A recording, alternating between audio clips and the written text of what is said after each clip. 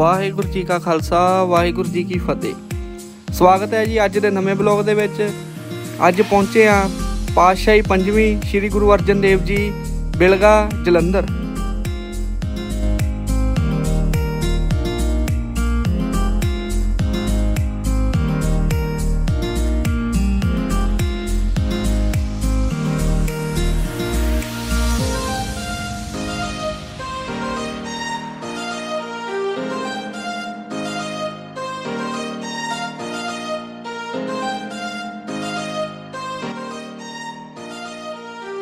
ਇਹ ਉਹੀ ਇਤਿਹਾਸਿਕ ਖੂਹੀ ਹੈ। ਇਸ ਖੂਹੀ ਦੇ ਜਲ ਦੇ ਨਾਲ ਸ੍ਰੀ ਗੁਰੂ ਅਰਜਨ ਦੇਵ ਜੀ ਨੇ ਇਸ਼ਨਾਨ ਕਰਕੇ ਨਵੇਂ ਵਸਤਰ ਪਹਿਨੇ ਅਤੇ ਉਤਾਰੇ ਹੋਏ ਵਸਤਰ ਪਿੰਡ ਦੀਆਂ ਸੰਗਤਾਂ ਨੂੰ ਨਿਸ਼ਾਨੀ ਵਜੋਂ ਦਿੱਤੇ, ਜੋ ਅੱਜ ਤੱਕ ਇਸ ਗੁਰਦੁਆਰਾ ਸਾਹਿਬ ਵਿੱਚ ਮੌਜੂਦ ਹਨ। ਇਸ ਇਤਿਹਾਸਿਕ ਗੁਰਦੁਆਰਾ ਸਾਹਿਬ ਨੂੰ ਸ਼ਹੀਦਾਂ ਦੇ ਸਰਤਾਜ ਸ਼ਾਂਤੀ ਦੇ ਪੁੰਜ ਸ੍ਰੀ ਗੁਰੂ ਅਰਜਨ ਦੇਵ ਜੀ ਦੇ ਪਵਿੱਤਰ ਚਰਨਾਂ ਦੀ ਸ਼ੋਅ ਪ੍ਰਾਪਤ ਹੈ। ਸ੍ਰੀ ਗੁਰੂ ਅਰਜਨ ਦੇਵ ਜੀ ਮਹਾਰਾਜ ਪਿੰਡ ਮੌ ਸਾਹਿਬ ਵਿਖੇ ਵਿਆਹਣ ਜਾਂਦੇ ਸਮੇਂ ਇੱਥੇ ਠਹਿਰੇ ਸਨ। ਉਹਨਾਂ ਦੀ ਯਾਦ ਵਿੱਚ ਇਹ ਗੁਰਦੁਆਰਾ ਸਾਹਿਬ ਬਣਾਇਆ ਹੈ। ਵਾਹਿਗੁਰੂ ਵਾਹਿਗੁਰੂ। वाहे गुरु वाहे गुरु। वाहे गुरु।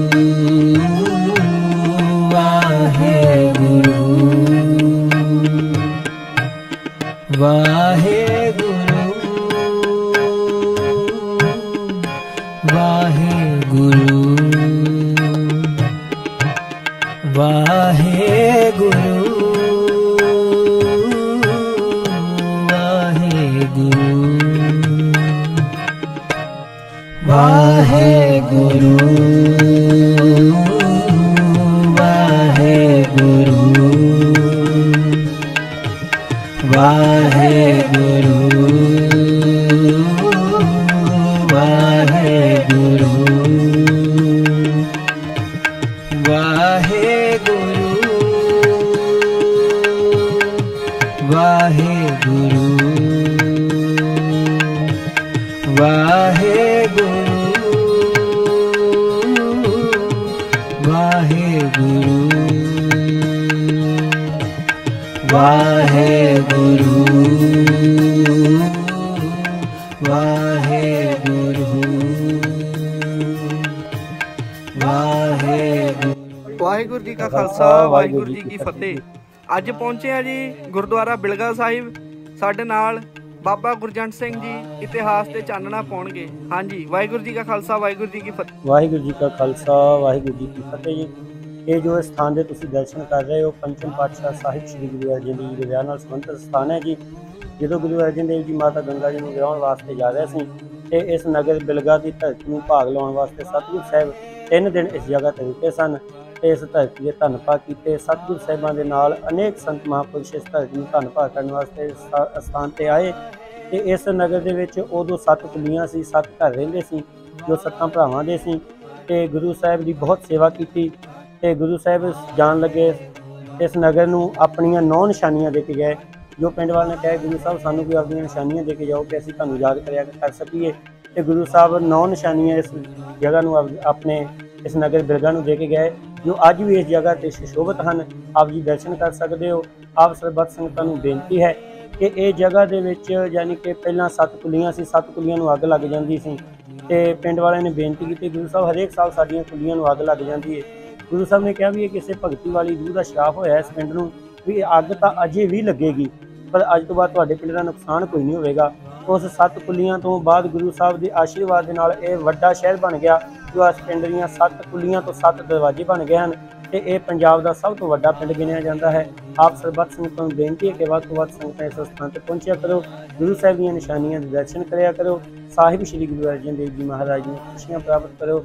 ਵਾਹਿਗੁਰੂ ਜੀ ਕਾ ਖਾਲਸਾ ਵਾਹਿਗੁਰੂ ਜੀ ਕੀ ਫਤਿਹ। ਇਹ ਸਨ ਬਾਬਾ ਗੁਰਜੰਟ ਸਿੰਘ ਜੀ। ਇਹਨਾਂ ਦਾ ਤਹਿ ਦਿਲੋਂ ਬਹੁਤ ਬਹੁਤ ਧੰਨਵਾਦ।